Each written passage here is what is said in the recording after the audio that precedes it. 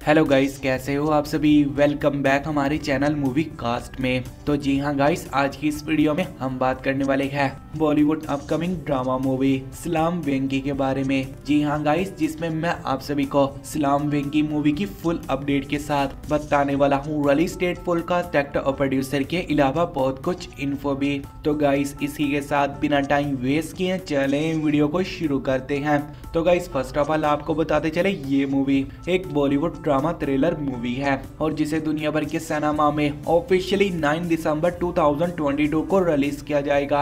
Guys, बात की जाए इस्लाम विंग मूवी के डायरेक्टर राइटर और प्रोड्यूसर की तो इस मूवी को ऑफिशियली टैग क्या है? बॉलीवुड फ़ेमस डायरेक्टर और एक्ट्रेस रेवती ने, जिन्होंने आज तक अपने बेस्ट करियर में कई सुपरहिट मूवीज़ को भी टैग किया है। और जबकि गई इस्लाम विंग की मूवी के सभी डायलॉग और स्टोरी लाइन को ऑफिशियली समीर अरोरा ने राइट किया है। और जबकि गाइस प्रोड्यूस सुरन सिंह ने किया है। और एंड में गाइस अब बात की जाती है सलाम बिन की मूवी की फुल स्टार कास्ट के बारे में। और स्टार कास्ट में सबसे पहले आती है काजल, जिन्हें कौन नहीं जानता। बॉलीवुड सुपरस्टार एक्ट्रेस और मॉडल काजल हमें एज इस मूवी में मेन कैरेक्टर सुजाता के रोल में नज़र आने वाली है। विशाल जेतवा जो कि ये हमें एज इस मूवी में विनकी के रोल में नज़र आने वाली है।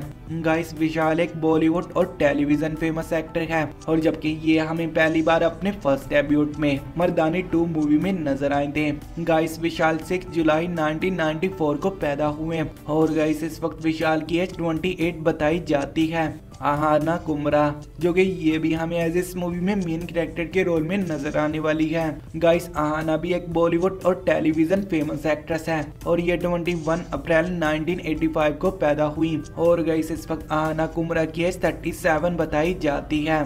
राजीव खंडेलवाल जो कि ये एक बॉलीवुड फ़ेमस एक्टर के साथ एक टेलीविज़न फ़ेमस एक्टर भी है। और जबकि ये हमें अपने फ़र्स्ट डेब्यूट में 2008 में आमिर मूवी में नज़र आ चुकी है। प्रकाश राज, प्रिया मनी, जो कि ये एक south Indian Telugu famous actress और मॉडल है। गाइस प्रिया 4 जून 1984 को पैदा हुई। और गाइस इस वक्त प्रिया की एज 38 बताई जाती है। कमल सदाना रिद्धि कुमार, जो कि ये एक साउथ इंडियन यंगस्ट एक्ट्रेस है। और जबकि ये मूवी इनके करियर की फोर्थ डेब्यूट मूवी भी होने वाली है, अनित पदा। और एंड में आते हैं आमिर खान, जो कि ये हमें आज एक कैमियो रोल में नज़र आने वाले हैं। तो गाइस वीडियो पसंद आए तो लाइक कीजिएगा चैनल को सब्सक्राइब कीजिएगा और कमेंट में हमें ज़रूर बताइएगा कि आपको ये सलाम बिन की मूवी कैसी लगी।